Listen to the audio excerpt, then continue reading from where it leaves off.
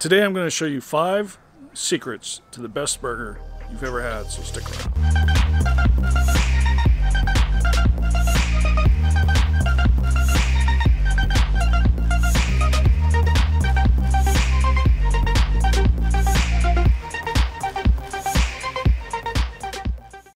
Hey, welcome back to Greenhorn Barbecue and Beer. This is the channel that takes you on interesting barbecue crawls to faraway interesting places. We try backyard cooking recipes, and backyard barbecue is always the king. So today, I'm going to show you five secrets, tips, techniques, tricks, whatever you want to call them. There are five essential things you want to do to get that perfect burger when you're cooking them. Secret number one 80 20 beef. A lot of people don't realize that, but that is the perfect ratio for the most delicious grilled burger that you've ever had. If you're on a diet, if you're worried about your figure, well, maybe this recipe isn't for you. In that case, substitute for a leaner piece of meat. And if you really have the budget for it, ask your butcher to grind up some brisket, beef rib, maybe even some ribeye. Grind that up. And then what you want to do is put them into six to seven ounce balls. Don't pack it too tightly. You want those cracks and crevices. I'll tell you why in a minute and then put them in the fridge overnight. You can even mix up an egg in the uh, mixture if you want. Let them set up in the fridge. What you're trying to do is get rid of some of that water. It's definitely in there. Don't worry, the fat's not going nowhere. Secret number two, prepare your garnishes first. So when that meat comes off the grill, nice and hot, juicy, the cheese is just right, that's how you want to eat it. So get everything ready, especially the lettuce, the onions, the tomatoes, whatever you're preparing to build your burger with. Set that stuff aside. Maybe keep it in the fridge on a platter, cover it, let it chill. Um, but you definitely want to do this first. That way, when you pull that delicious meat off the grill, it's ready to build. Okay, secret number three season, season, and more season. I can't say it enough. Every step in the process, you want to throw your favorite seasoning on there in this case, I used salt, pepper, garlic, real basic, granulated. You want to season the balls of meat. You want to season the buns. You want to season the meat when it goes on the grill. And as you're building the burger, so please, please, please add seasoning every step of the way. You're not going to oversalt your meat. Secret number four. Did I do that right? Secret number four toast your buns. You know what I'm talking about. So some people have different takes on how you should toast your buns. You should definitely uh, put them on the griddle top. Uh, butter will sometimes make your buns too soggy. Um, your choice. Uh, definitely get them on the, the griddle. In this case, I'm using a flat top Cuisinart 360. Uh, let them brown up. Usually I do it when I'm cooking the burgers. Toasting your buns will protect the bread from getting too soggy too soon so that you're going to enjoy your burger much longer. Secret number five smash it. The reason that we wanted to make little uh, six to seven ounce balls of meat, not too tight, leave them loose, is because all those nooks and crannies, those cracks and crevices, are going to allow the fat to render down uh, more complete and cook in their uh, fatty juices and just get more flavorful.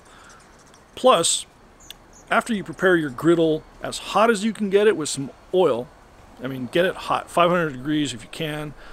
Um, you drop your balls on there, you take your spatula, weight, I don't recommend your bare hands, and smash them.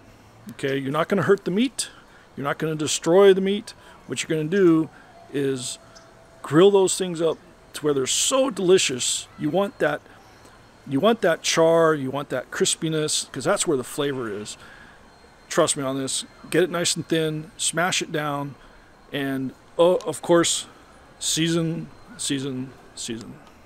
So once the burgers are as crisp as you need them, and that cheese has had a chance to completely melt down the way you want it, pull pull them off, put them in a tray, take them in, where all your garnishes are nice and chilled and just waiting for you to build that burger. Okay, so now for our black belt trick, sauce. Okay, so that's a bonus, I guess but you just don't want to waste ketchup or mustard uh, or mayonnaise on a burger like this. It's really easy to mix up a perfect burger sauce.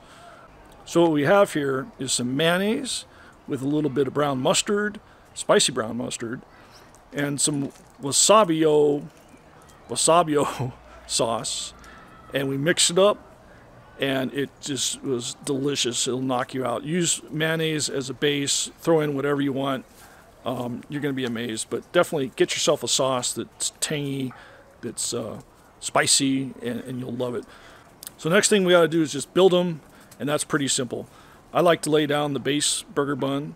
I like to put my sauce, and don't skimp on this, but I like to put my sauce on both halves of the bun. Then we'll take a little bit of butter lettuce or green leafy lettuce, break them a little bit to make sure they lay flat. I like to take a single tomato and lay it on there to give the burger a nice flat surface to sit on. Then I put the burger on there. I like red onions. Now you could saute your onions or not. Not everyone likes sauteed onions. Uh, but I like putting the onions on top. And then again, season every once in a while here, especially on the vegetables. Then throw that top burger on and enjoy. All right, guys, hope you enjoyed this video. My goal here was to show you guys five secrets that I like to use when making the perfect burger. If you even learned one thing, then I met my goal to try to share with you guys uh, how to create a better burger and, uh, you know, and eat it. So I think I hear the wonderful sassy kitchen queen in there. She's making a delicious dinner tonight. I love you, baby, and I'm headed that way.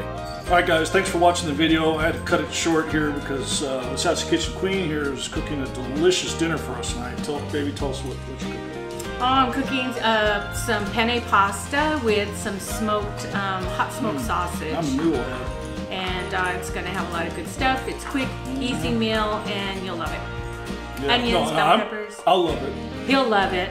You guys can read out. You'll love to watch. You guys can read all about it on Sassy's Instagram, the Sassy Kitchen Queen. Woohoo! All right, and hopefully here in about a month or less, uh, she's going to have her own blog page on greenhornbarbecuebeer.com slash the Sassy Kitchen Queen. So be looking for her there for any recipes and other links to interesting stuff and just just uh, you know her, her pretty face and her tasty dishes and her sassiness and her, you know, her sassiness. so, so go check it out. Otherwise, thank you for watching the video and stopping by tonight. If you like this video, please subscribe, tap the bell, and you'll get uh, future alerts and you won't miss a thing.